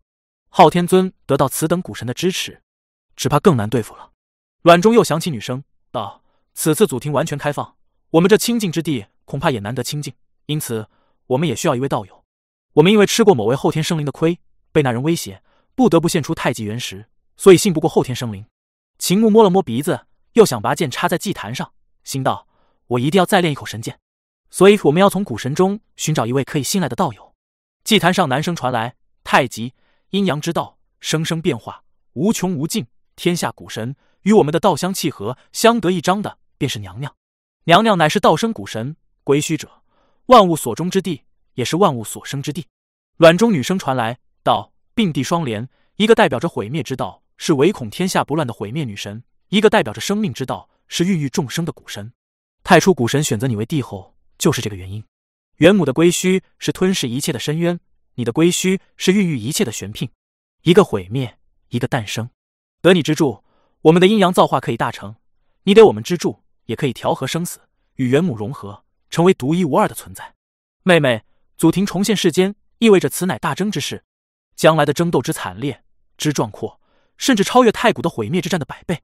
面对百倍于摧毁造物主的大战，任何人都有陨落之余，包括古神，包括天尊，包括我们，甚至包括已经成道的存在，都有陨落的可能。与我们联手，早做筹谋，你意下如何？帝后娘娘身躯大震，百倍于血秀战役的惨烈壮阔，怎么可能？第一千四百零七章红尘成道路。帝后娘娘看向秦牧，秦牧脸色依旧淡然，似乎早就知道这件事，对此没有任何吃惊。帝后娘娘定了定神，思索片刻，道：“仙夫是早产，被泰迪挖出来祭祀，因此在道行和实力上都有着很大的缺陷。而道兄沉寂在这里不知多少亿年，想来应该修行圆满，不会出现仙夫的状况。为何两位对未来也如此恐惧？”他言语中的意思，其实是问太极古神，他们躲在这里。安心吸收矿脉的力量，时间过了这么久，应该可以圆满出世。为何现在没有出世？只是他毕竟是帝后，问的比较委婉。按常理来说，我们的确可以出世。如此漫长的光阴，足以让我们吸收矿区所有的力量和道行了。卵中男生道：“然而祖庭限制了我们的出世。”帝后娘娘大惑不解，秦牧也不禁动了好奇之心，身子不由自主的向前倾了倾。卵中女生道：“我们一直在吸收太极矿脉的力量，从宇宙开辟至今，从未断线。”造物主一族崛起的时候，开始开采矿脉，五大矿脉都被采掘过。有位道兄在造物主之前便已经出世，留下空的矿区，逍遥自在。他出世的时候，没有人世间的滋扰，大道纯粹，一出世便超脱成了道。卵中男生道之后便是太初道兄，太初道兄有望在他之后成道，只可惜他只成长到一半便被挖出，被造物主当成宝贝儿来祭祀，还未诞生便已经被污染。他想要成道。艰难无比，必须要将造物主在他身上的祭祀之力断去，还要寻回所有太初矿脉的力量。第三位道兄是太史，他被人挖出，也当成个大宝贝，被世人膜拜祭祀。然而后来又落入太帝居于世之手，太帝落败，他又落入太初之手。太初已经不再是软中的状态，有了痊愈之心，担心他完美出世会威胁到自己的地位，于是将他囚禁起来。太素也是个苦命人，他被造物主女心事从矿脉中挖出，又被带到居于室那里，后来又落入北地玄武之手，被当成了宝贝儿，练成了琉璃青天状。他苦苦追寻超脱之道，哪知遇人不淑，被某人带到了上一个宇宙，不得不提前出世。他想成道，因果变大了，不仅要报女心事之仇、居于世之仇、被炼成宝物之仇，还要报提前出世之仇，还有上个宇宙记的因果，还需了结。秦牧听到这里，心中凛然。太极古神所说的遇人不淑，那个人便是他。他夜出大黑幕，带着太素之卵，不经意间来到了上个宇宙纪破灭的时刻，不得不高举太素之卵，试图返回世界树下。太素也是在那时出世，太素被出世与他有着莫大的干系。至于我们，也被世事污染了。卵中女生叹息道：“我们在观察到各位道兄的遭遇之后，首先便动了机警之心。有了机警之心，便不再是纯粹的道心了。从那时起，我们便离成道远了一步。只是那时我们并未预料到这一点，我们制造了假矿，蒙蔽造物主，而真矿脉则被我们藏了起来。如此一来，我们距离成道又远了一步。”卵中男生叹息道：“我们调动太极星域，绞杀进入矿区的造物主和其他生灵。”保护自己，动了杀心，离成道便更远了。那时我们没有意识到，自以为得计。卵中女生道：“我们把自己藏了起来，一直惶惶不可终日，提心吊胆，总是担心会被太帝察觉，被太初察觉。直到太初率领其他古神封印祖庭，我们才安心下来，觉得自己可以吸收太极矿脉而成道。”卵中男生叹了口气。直到那时，我们才发现，我们早已被红尘污染。虽然没有了红尘的滋扰，却离成道越来越远。不仅如此。我们还发现另一个可怕的事情，男生和女生都沉默了。秦牧心中微动，有了一个可怕的猜测，张口欲问，却忍耐下来。帝后娘娘比他从容，依旧在静静等候。过了片刻，卵中男生女生重叠，异口同声：“祖庭尽管被封印，但是我们发现祖庭中不仅仅只有我们，还有其他人。”秦牧心头大震，暗道：“果然与我猜的一样，祖庭被封印，但是封不住提前出世的那位道兄，他神出鬼没，深不可测。”但祖庭中的其他人并非是他，其他人来自地底，却又并非来自地底，而是上一个宇宙纪的残留。他们来自上一个宇宙纪，他们早做准备，已经在祖庭中布下了重重机关、重重算计，甚至连我们的太极矿区也被他们算计。当你们封印祖庭，都离开祖庭时，我们感觉到了一座可怕的史前遗迹行驶到我们矿区，锁死了我们吸收矿区力量和大道，让我们这些年静静缓慢。卵中的太极古神声音中有些恐惧。我们生出了恐惧之心，离成道又远一步。因此，当不速之客来访矿区，我们才会借出太极原石。因为我们这百万年来无法从原石中汲取多少力量，无法从矿区汲取多少力量，借给他用一段时间也无妨。秦牧立刻张开眉心竖眼，向矿区的地底看去。他的神眼无双，甚至可以洞彻瑶池地底的大罗天碎片，立刻将太极矿区的地底一览无余。但见在浩瀚无垠的太极星域下方，一片古老的大罗天碎片正在蚕食星域，侵吞太极矿区。那里有一座神秘的遗迹，正处在太极矿区的下方。遗迹上有着古怪的建筑，用最好的神经打造。尽管布满了斑驳锈迹，但依旧可以看到大道的波纹在表面流动。那应该是一个高度发达的文明留下的遗迹，用无上的神经打造一座神城，企图在宇宙大破灭中存活下来，度过大破灭，来到新的宇宙。不过，秦牧看到那里并没有生灵，仿佛生命已经被毁灭。但既然是大罗天的碎片，想来不会那么简单。帝后娘娘却无法看到这一幕。不理解太极古神的恐惧，道：“道兄，你们既然被锁死，无法在这里提升修为、提升道恒，那么你们应该无法完美出世。你们停止了生长，又谈何说帮助我？”他淡淡道：“请恕我直言，利益至上。我若是没有足够的利益，为何要与你们合作？你们帮不到我，与你们结盟，联手共同对抗未来的劫难，便是一句笑谈。”秦牧目光闪动，道：“这么说来，两位道兄是打算提前出世了？”帝后娘娘心头微震。经他提醒，也顿时想到了关键。太极古神之所以找他来，只怕是动了提前出世之心。倘若太极古神出世，离开矿区，那么的确可能成为他的臂主。卵中古神赞道：“穆天尊的确聪明过人，闻贤而知雅意。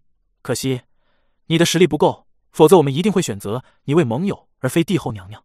你猜的不错，我们的确是动了出世之心。”卵中女生道：“我们被困在这里，空有矿区，却无法汲取力量，感悟大道。”我们的道心也被红尘所破坏侵扰，与其一直守住太极矿区，不如索性提前出世，在红尘中走一遭。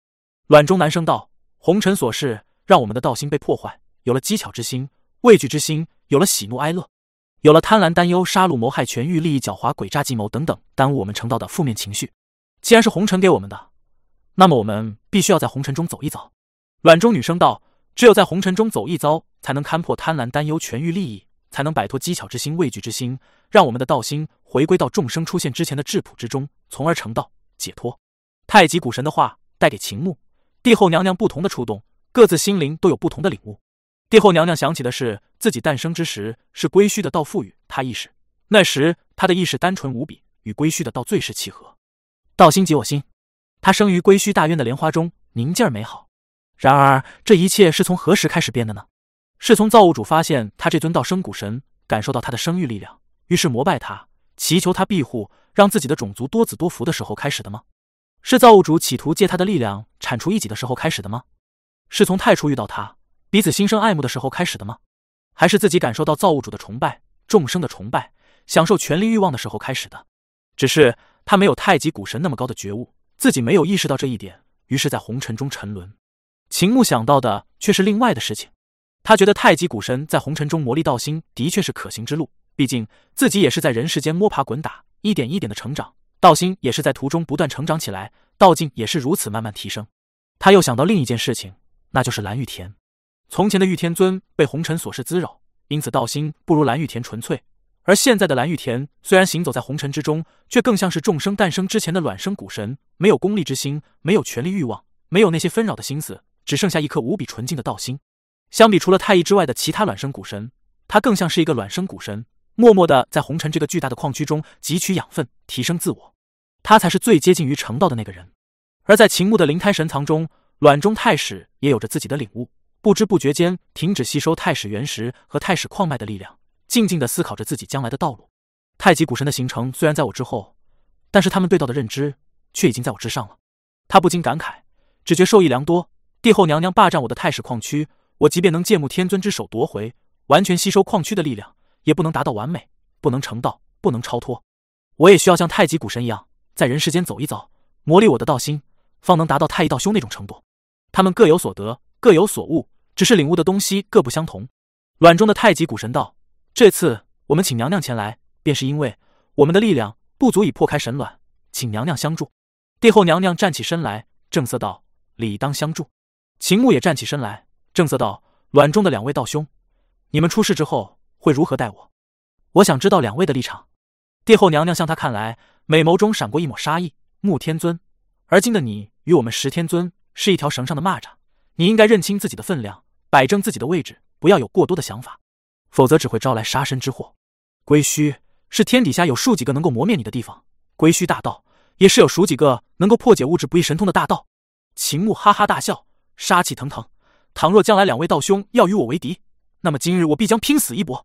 两位道兄思量，他转过身来，帝后，你若是觉得归墟神通可以磨灭我，不妨一试。第一千四百零八章，我比你更了解你的身体。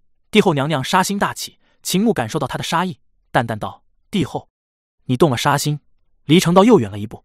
穆天尊，你将来成道也是嘴皮子成道。”帝后娘娘抬手一指，一道归墟大渊在秦牧头顶浮现，冷冷道：“我那归墟海眼磨灭了不知多少神圣，多少英雄豪杰。”你穆天尊不是第一个，也不会是最后一个。今日便拿你去填海眼，你能撑过百年不死，那就饶你性命。秦牧战意滔天，伸出一根手指，轻轻一划，但见无边大水出现，滔滔弥漫。霎时间，一片瑶海出现在两人之间，将他们的距离越拉越远。秦牧站在瑶海边的瑶台上，遥望帝后，目光冷然。他身后一片光芒大放，座座天宫浮现，一尊尊元神坐镇各大天宫之中，站在瑶海之上。只有在极天宫尚未完整。倘若我的元神跨过瑶池，穿过斩神台，进入九玉台的境界，是否可以力敌天尊而保不死？他眼中金光闪动，内心中有一股可怕的信念在蠢蠢欲动。他想正面抗衡天尊。帝后娘娘并非是炎天尊亲自降临，倘若是炎天尊亲自降临，他还不至于有如此胆大包天的想法。炎天飞的实力深不可测，但是帝后娘娘只是一尊古神，哪怕是炎天飞的元神驾驭，想来也比不上炎天飞全部的战力。倘若秦牧连续跨过两个境界，哪怕这些境界不全，他的修为实力还是会暴涨，实力增幅惊人。这样的情况下，是否能抗衡天尊？他修成瑶池以来，需要一个表现的机会，看看自己的修为，看看自己的实力，自己的道境到底到了哪一步。两人一触即发。帝后娘娘正要动手，突然卵中的太极古神叹了口气，异口同声道：“两位都消一消火气。”秦牧各大天宫中的元神已经来到瑶池边缘，让自己的修为不断高涨。他的元神向各大天宫的斩神台走去。太极古神的话让他止住自己的元神。帝后娘娘眉间扬起，也按捺不发。太极古神道：“娘娘，穆天尊退一步海阔天空，进一步血流满地，不必为这件小事置气。”穆天尊，我们出世之后是在红尘历练，磨砺道心。我们承诺你，将来绝不会与穆天尊为敌。这个承诺，你是否满意？秦穆散去杀意和战意，哈哈大笑，长揖道地。承蒙两位道兄的善意，穆感激不尽，还望两位勿要忘记今日之言。不敢忘记。卵中太极谷神男生女生叠加道：“有两位这句话，我便放心了。”秦牧后退一步，瞥了帝后一眼，转身离去，道：“帝后，我在外面等你。”帝后娘娘对他视而不见，问道：“道兄想何时出世？”太极古神对秦牧的离去略感诧异，不过下面的事情干系到他们二人能否出世，便不放在心上，道：“我们的力量。”不足以破开蛋壳，因此请帝后出手展开蛋壳，助我们出世。而今祖庭只怕距离乱局没有多长时间，我们出世自然是越快越好。好，帝后娘娘转身向矿脉外走去，道：“我的真身很快前来，到那时我需要两位帮忙打开龟墟，让龟墟来到矿区。我需要借双莲的威力破开蛋壳。”太极古神连忙道：“娘娘放心，这点手段我还是有的。不过穆天尊他他的事便无需两位操心了。”你们答应不会对付他，但是本宫可没有。帝后娘娘的身影从矿脉中消失，走入太极星域的漫天飞沙之中。秦牧走的地方是太极星域的另一半，白沙漫天飞舞。帝后娘娘的身影也很快消失在白沙深处，声音远远传来：“仁贵有自知之明，当知天高地厚。本宫一言既出，驷马难追。说让他去填海眼，便让他填海眼；说镇压他百年，便镇压他百年。”卵中的太极古神叹了口气。穆天尊能够在大黑木那等险恶之地存活下来，说明他的自身修行已经非同小可，不必为他过分担忧。卵中女生道：“何况他威胁我们，迫使我们不得不交出一枚原石和百枚神石，他被镇压百年也是理所当然。”卵中男生道：“你说的在理，但是他能在大黑木那里存活下来，说明他已经得到了那位道兄的认可，这一点不容我们不思量一下，多少也要给那位道兄一点脸面。况且他思量片刻道。”我从他身上感应到太史道兄的气息，是才有那么一刻，他身上有太史道兄的气息波动传来。你顾忌太多了。卵中女生笑道：“顾忌太乙道兄倒也罢了，顾忌太史是何道理？太史福缘不厚，远不及我们。他是第二个被挖出的古神卵，仅次于太初，又没有太初的运道。太初更加成熟，虽然出世的早，但也得到了造物主的祭祀，实力强大，又有权势。太史道兄有什么？他被挖出来之后，又被太初镇压。”即便投靠穆天尊，穆天尊也只是个微不足道的角色。卵中男生道：“毕竟同为祖庭矿脉所出，先天五种大道孕育，不可轻视。太史离道太远，我们离道比他近了许多，瞻前顾后，我们难以成道，不必有太多忧虑。”卵中女生道：“有太史相助，他即便是被镇压在归墟中，也死不了。勒索我们神石原石，镇压他百年，算得了什么？他饿了太素娘娘，太素娘娘对他深恶痛绝，单单这一点。”他此生都难成道，无需对他顾忌太多。这倒是。卵中男生不再说话，静静等候严天飞的到来。帝后娘娘在白沙大漠中穿行，太极古神还是照顾她。白沙是由死亡的恒星组成，高度凝聚，弥漫着恐怖的地磁原力，扭曲空间，让物质变化的速度大大降低。物质变化引起时光流逝的错觉，而在这里，物质几乎静止，变化的速度极为缓慢，给人以时间凝固的错觉。而这些白沙的物质变化缓慢。因此凝聚了海量的能量，能量爆发又会诞生无比恐怖的剑气。这种剑气横跨宇宙虚空，可以穿过一道道星系，毁灭一颗颗星球星辰，厉害无比。在这片太极星域的白沙大漠中，到处都是这种剑气，令人防不胜防。倘若是寻常时期，帝后娘娘也不愿轻易踏足这么危险的地方。好在有太极古神的相助，她无需多费精力应付白沙大漠，只管前行即可。前方，风沙漫天。帝后娘娘隐约看到一个高大的身影，那是秦牧。相比其他成年人来说，秦牧身材高大，模样年轻，脸上还有着少年的稚气，只是下巴上有些胡须极为顽固，总是扎破他固不可摧的脸皮。秦牧已经停在白沙大漠中，一身气息越来越浓烈，越来越强。帝后娘娘眉头轻挑，只见那少年屹立在大漠中，恐怖的白沙呼啸而过，那种恐怖的宇宙剑气竟然穿过了他的身体，却没有对他造成任何损伤。有形而无质，太史之道。不知不觉间，秦牧一直处在他的道境第二十四重天太史之行问清明的状态之中。在这个状态中，万法不侵，万道不伤。即便是处在太极星域这种危险之地，他依旧安然无恙。这是先天不败之地。先天五态，五种大道。太一曰混沌，混沌浩瀚虚无；太初无形无质，先天一气，可随神识变化；太始有形无质，太素有形有质无体；太极阴阳变化，万物化生。这是先天五种最为古老、最为原始的大道。掌握其一，便可以立于先天不败之地。秦牧现在催动的是太史之道中领悟出的一种入道大神通，虽然只是太史之道的一种表现方式，但在这种情况下，想要伤他，除非动用五太极的神通。或者实力超出他良多。然而神通是神通，大道是大道，神通在变化间便有破绽，除非成了道，才没有破绽，否则天地太初也不会死，太极古神也无需东躲西藏，太史也不会命运多舛，太素也不会提前出世。帝后，我们不便相助，告罪。帝后娘娘耳畔突然传来太极古神的声音，帝后轻轻点头，淡然道：“无需两位相助。”他话音落下，他们四周的白沙大漠突然风波平息，白沙不起。一切风平浪静。嗡！秦牧的灵胎神藏领域突然铺开，帝后娘娘眼角一跳，但见刚才秦牧还是背对着她，而此刻竟然是正面对着她。秦牧根本没有转身，然而他却可以看到秦牧的正面，这让帝后有些难以理解。装神弄鬼！帝后娘娘冷哼一声，抬手一指，一道龟须大渊出现在秦牧头顶，长达万里，如同一道锥形的裂口，直接将秦牧吞噬。这便是玄牝！帝后娘娘转身便走，不堪一击。就在此时，龟须大渊中发出惊天动地的巨响，像是一个巨型魔怪在吞噬了无法消化的食物，哽在咽喉，吃不下去，又吐不出来。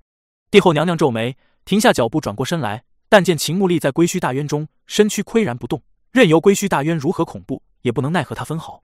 娘娘，别忘记了，你的肉身一直落在我的手中。归墟大渊中，秦牧伸出一只手，重重一握，你的肉身的一切奥秘都被我摸得一清二楚。我已经用微观术数、宏观术数为你建立起详细无比的肉身形态构造模型。他傲然一笑：“我比你更了解你的身体。”臭男人！帝后娘娘冷笑道：“看来我不仅要斩断你的双手，还要砍掉你的脑袋才行。”第一千四百零九章无双神通。此时，严天飞正在赶往太极星域，进入黑沙大漠，而强天飞、神器玉天尊也跟随着绝无尘来到大漠的深处。强天飞与神器玉天尊都是天尊层次的存在。即便是绝无尘也无从察觉。只见绝无尘走入一片瑰丽的矿区中，那矿区千变万化，让两位天尊都啧啧称奇。他们走入矿区内，但见这片矿区尽显太极之道的华丽，阴阳化生，生生不息。太极之道可化天地间有生命之物，如太古巨兽，如花草虫鱼，如草木昆虫，如人神魔怪，甚至连古神也可以造就，也可以化宇宙中无生命之物，如江河山川、汪洋大海、雷云闪电。日月星辰，端地是造化神奇。即便是强天飞和掌控神器玉天尊的石岐罗，也看得眼花缭乱，赞叹太极古神之能，赞叹太极矿脉的玄妙。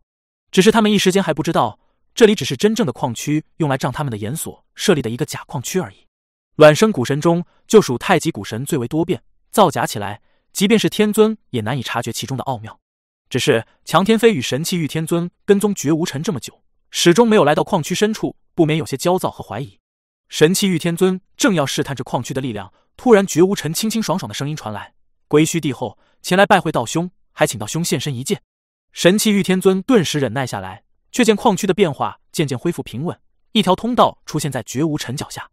绝无尘迈步向矿区深处走去，两位天尊继续跟随他。又走了良久，在他们即将失去耐心时，突然柳暗花明，前方出现一座瑰丽无双的天然祭坛，上有八块太极原石。拱卫一颗神卵，两位天尊又忍耐下来，看着绝无尘向那神卵见礼，落座下来。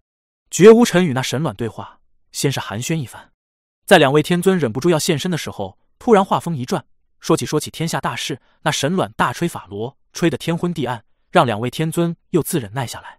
就在此时，两位天尊突然各自感觉到一股不小的神通波动传来，各自心中一惊，即便是这片太极矿区，也在波动中微微晃动一下。像是画卷被风吹拂，抖动了一下。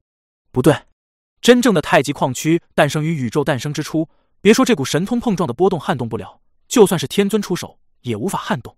两位天尊心中警觉，而在此时，第二股波动传来，这股波动力量更强，像是天尊层次的存在全力出手。神器玉天尊长啸一声，一身的力量毫无保留绽放，顿时这片矿区突然间支离破碎，群山倒伏，日月瓦解，无数巨兽、神奇等异象纷纷化作一缕缕阴阳之气飘散。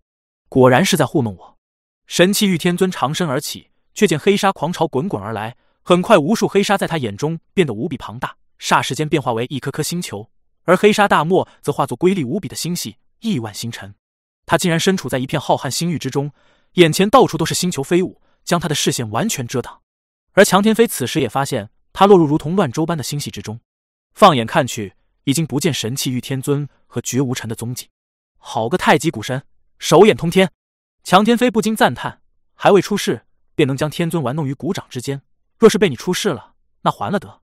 这等手段困不住天尊，你还是死在蛋壳里，省得像太初一样出世为祸世间。”他迈开脚步，强大的神识四下扫去，将一颗颗星辰推开。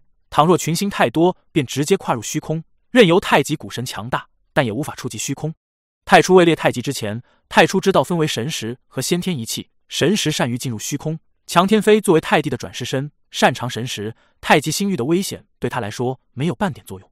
只有太极古神出世入道，进入道境的三十五重天才会威胁到太帝，然而也威胁不到太帝的道果。太极古神只有成道，烙印终极虚空，才能对太帝形成致命威胁。诚如太极古神自己所说，而今的他们离道太远，需要出世进入红尘历练才能成道，否则就算他们是卵生古神。这个世界上能够威胁到他们性命的存在也有不少。强天飞飞速在星域中穿梭，搜寻真正的矿区。另一边，神器玉天尊则被龟墟大渊吞噬，但见星域中一个大裂缝在飞速移动，所过之处，连一颗颗星辰都被吞噬。元母夫人作为第十一位天尊，她的龟须神通着实强大，穿梭来去，连太极星域也阻挡不了。两位天尊突然各有发现，只见前方一道横跨星域、镇压无数星球的山脉出现在他们眼前。这道山脉惊人无比，给人的震撼也是难以想象。天尊神通波动正是从那里传来，这次的神通波动更加清晰。两位天尊立刻觉察出这股波动是严天飞的神通。难道严天飞试图干掉太极古神？两人心中同时一惊，急忙向那道山脉冲去。待到他们来到那座高不可量的山脉顶端，四下看去，突然浩瀚星域又变成了大漠，但见无数星辰消失不见，只剩下滚滚的飞沙。古怪的是，一边是黑沙大漠。一边是白沙大漠，这片山脉地势复杂，而且山脉走势在不断变化，即便是两位天尊，一时间也难以寻到严天飞的下落。就在此时，突然一股较小的神通波动传来，两位天尊急忙看去，但见白沙漫天飞舞，两个身影在白沙大漠中疾行奔走厮杀。那二人身后，一座座天宫坐落，神光大放，即便是风沙井也难以阻挡他们的天宫绽放出的光芒。帝后，姐姐那小贱人！两位天尊立刻看出，其中一人正是帝后娘娘，而正在与帝后娘娘大打出手的，则令他们有些意外。那人竟然是秦牧穆天尊。此时，秦牧在白沙大漠急速穿行，身前身后到处都是一个个龟须大渊，宛如吞噬一切的洞口，鲸吞万物。那是帝后的神通。他的脚下是灵胎神藏领域，铺张开来，随着他的移动而移动。在他对面，相距百丈的距离，帝后娘娘也在急速穿行之中，各种神通在指掌间挥洒。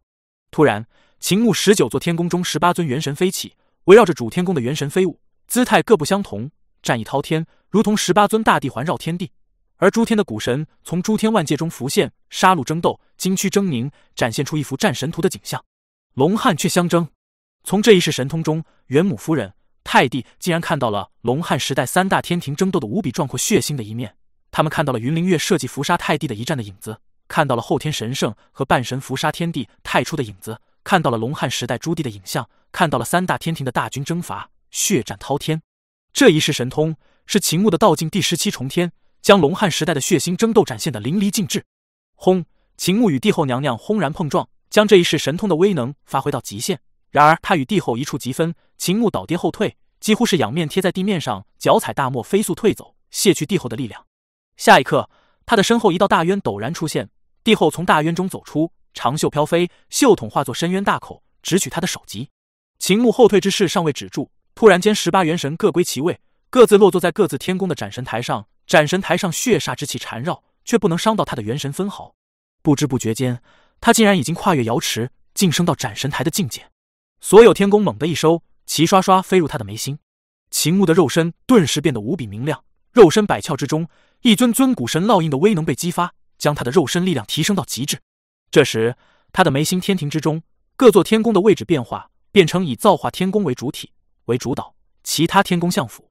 一瞬间，他的力量统一起来，他的肉身节节暴涨，筋肉狰狞，力量一瞬间提升到无与伦比的高度。赤明神身诀，他几乎贴在大漠上的身体立刻弹起。神藏领域让帝后娘娘出现在他的背后没有任何意义。秦牧一拳轰入帝后的袖筒之中，直捣黄龙，任由归墟大渊如何绞杀，也灭不了他这一拳的威能。赤明神身诀作为他的道境第十八重天，统一的不仅仅是他的造化之道，还有他的武道、战技。古神以肉身强大著称，又天然掌握大道。然而武道本来便是以近战搏杀剑掌的绝学，他如同一尊武道大帝，近战搏龙司凤，霸体滔天。同时又拥有着赤帝明帝的不灭之身、不灭元神。帝后袖筒中，手掌如同灵蛇般飞出，与他的拳头轰然碰撞。古神强大无比的肉身展现的淋漓尽致。他的这尊真身死的早，在龙汉的早中期便被元母夫人暗算杀掉，一直镇压在鬼船上。但他从秦牧那里得到肉身之后，以这些年的修为来提升真身的力量，却也非同小可。然而与秦牧正面碰撞，他却未能占到任何便宜。秦牧肉身元神高度统一，神识元气凝为一体。肉身紧密，各种古神烙印化作肉身的力量。碰撞的一瞬间，他的肉身各窍中古神烙印光芒大放，化作两千尊古神围绕他呼啸飞舞，随即又没入各窍之中。每一次力量运行，他体内的道音便轰鸣震荡，即便是白沙大漠的风沙呼啸，也遮挡不住那嘹亮的道音。帝后娘娘目光冷然，她的身姿如舞，长袖飞舞，如同灵蛇；她的袖筒如同大渊，时而纤纤玉手出袖，每一击都尽显美艳，然而杀机深藏。两人再度碰撞一记，各自向后退去。哗！秦牧脑后十九座天宫飞出，化作一片大天庭，双手向前一拱，长身一拜。帝后娘娘脸色微变，急忙飞身而起，躲开他这一击。只见秦牧败下之时，前方的无数白沙顿时纷纷湮灭，化作一道道混沌气。然而就在帝后娘娘躲开的一瞬间，他这才发现自己无论躲到何处去，秦牧的灵胎神藏领域让他都是正面秦牧。只听轰隆轰隆的震荡声中，以秦牧为圆心，四周一切白沙在剧烈的震荡中归于混沌，化作混沌气喷涌奔流。站在太极矿脉上的强天飞和神气玉天尊见到这一招，不禁齐齐动容。好神通，无法躲避的神通，比狼轩神皇来来去去只有一招的神渊一指强了不知多少。这一式神通正是道境第二十六重天，一气混元道同游，秦牧最为强大的神通。第一千四百一十章暴打帝后。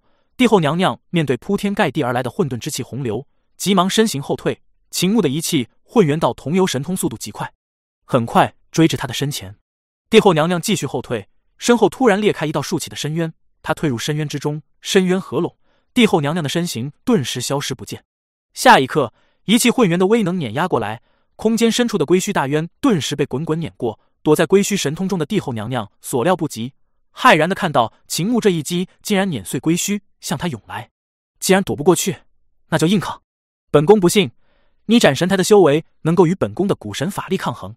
帝后娘娘抬手硬风硬汉，一身法力彻底爆发，斧一碰撞，便感觉到自己的法力、自己的大道。遇到这股神通时，便开始被同化，化作太初之道，平添这一击的威能。帝后娘娘心中一惊，急忙收回手掌，从发鬓间取下一根发簪，那发簪是归墟渊铁锁链，被她倾注法力，抖手射出，吃发簪迎风破浪。破开秦牧这一击，将这一击的威能展开，直奔秦牧而去。发簪的速度极快，然而即便是归墟渊铁，也在秦牧的这一击中不断消磨，化作混沌之气，带来到秦牧面前。渊铁已经被消磨的只剩下一根铁针，从秦牧的眉心一闪而过，刺入他的大脑。轰！一声巨响传来，那根铁针在秦牧头脑中炸开，化作一道归墟大渊，顷刻间便将秦牧的头颅吞噬炼化。秦牧无头身躯晃了晃，却没有倒地。然而脖颈一摇，长出三颗头颅，腋下又钻出四条手臂，三头六臂。而在此时，一气混元道同游的威能耗尽，帝后娘娘从混沌气中走出，衣衫破破烂烂，露出她洁白的肌肤，胴体若隐若现。帝后娘娘面带清气，杀气腾腾，迈步向秦牧走去，冷笑道：“穆天尊，这一世大神通耗尽了你的修为了吧？你还有多少法力？”秦牧头顶神光冲天而起，化作一片大天庭，三颗头颅齐声笑道：“我的法力有的是，娘娘请看。”帝后娘娘瞳孔骤缩，只见天庭的各座天宫之中，秦牧的元神竟然离开斩神台，各自迈步跨出，跨向下一个境界。让他看不懂的是，秦牧为何可以在短短时间内跨越瑶池，进入斩神台的境界？为何又可以直接跨越斩神台的境界，进入下一个境界？然而，更让他看不懂的是，秦牧的下一个境界竟然不是玉京境界。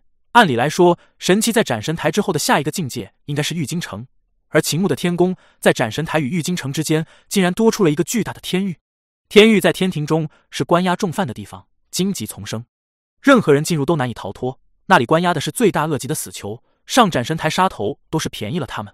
所以要关押在天狱中，让他们承受无尽的苦难折磨。天域在天宫体系中并不算是一个境界，神奇的元神来到这里，对修为实力没有半点提升。历史上龙汉时期，天宫体系被传出去之后，已经有无数神人试验过天域，并没有半点作用。而到了秦牧这里，他的元神在踏入天域之后，修为实力立刻开始疯长。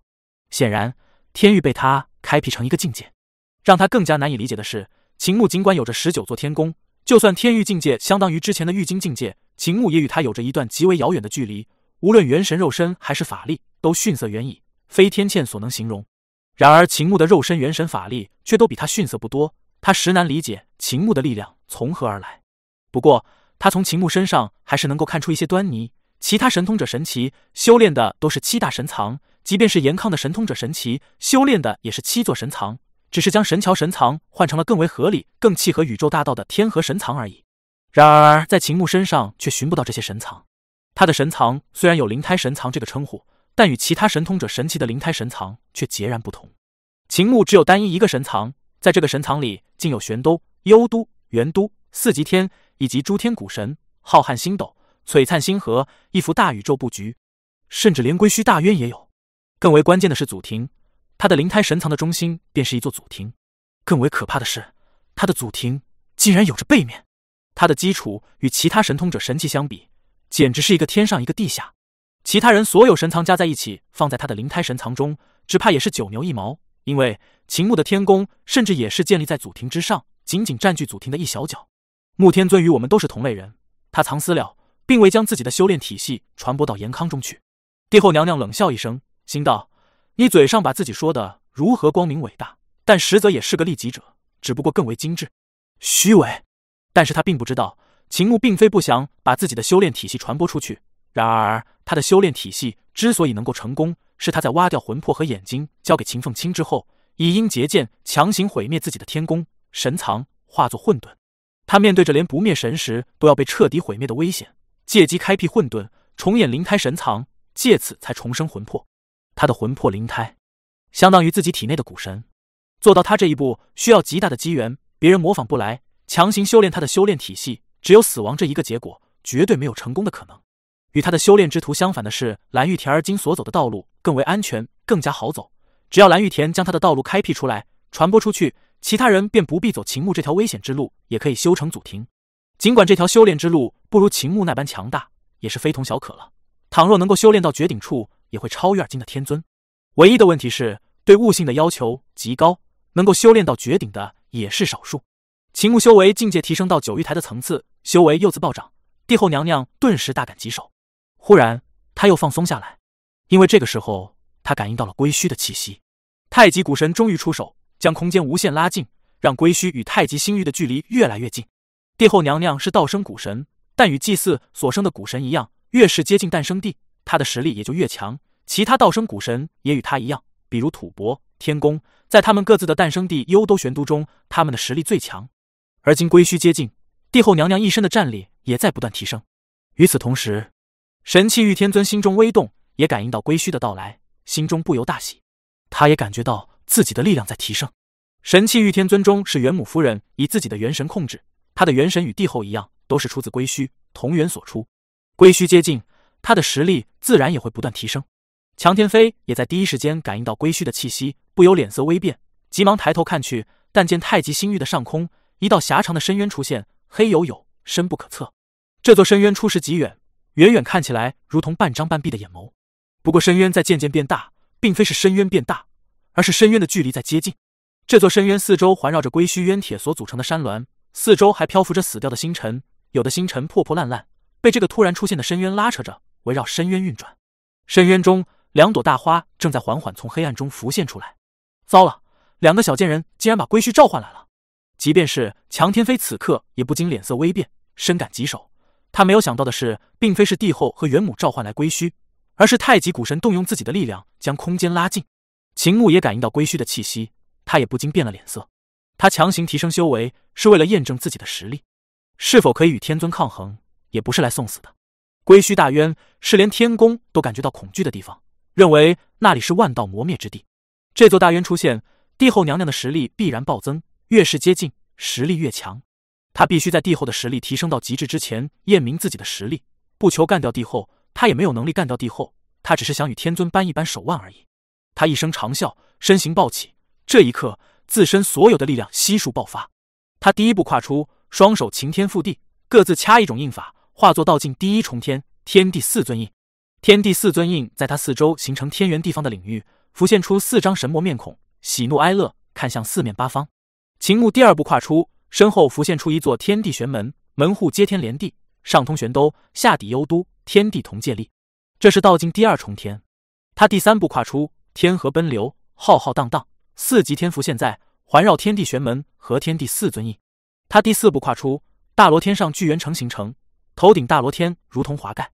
第五步跨出，紫花飞出，一分二，二分四，四分八，霎时间画满重天。第六步幽都逐游魂。第七步太古瑶台立玄兜，秦牧在刹那间便连续跨出二十六步，二十六重天道境叠加在一起，让他的气势一时无两，快如闪电雷霆，一路奔行在白沙大漠中，留下串串雷音，带着吴涛的威能，以碾压般的威势来到帝后娘娘身前。穆天尊，你真是不知死活！帝后娘娘怒不可遏，她原本便被秦牧的一气混元道同游弄得衣衫破败，难遮玉体。现在秦牧自是跨到一个莫名其妙的境界，竟然还敢在龟墟到来之时出手，着实是不知死活。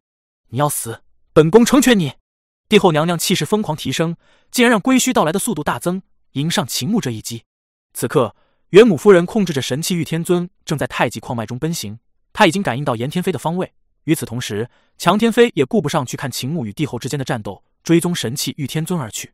就在此时，一股惊天动地的悸动传来。让两位天尊也不禁侧目观望，但见帝后娘娘吐血倒飞而出，玉体压着白沙大漠，在沙漠表面向后飞速滑去。两位天尊的目光不由呆滞，只见秦牧身体前倾，斜斜滑落，速度快如流光，一瞬间，二十六道大神通如同连珠箭，疯狂轰在帝后娘娘身上。帝后娘娘在短短片刻便滑行数百里，而秦牧的大神通也施展到最后一击，拱手一拜，轰！帝后娘娘玉体横沉。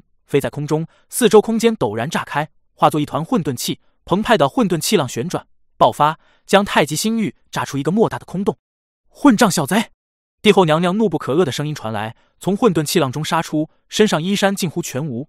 抬头看去，却见秦牧纵身一跃，脚下浮现出彼岸方舟，载着他呼啸而去，逃之夭夭。帝后娘娘盛怒之下杀将过去，但哪里还能寻到那个小贼？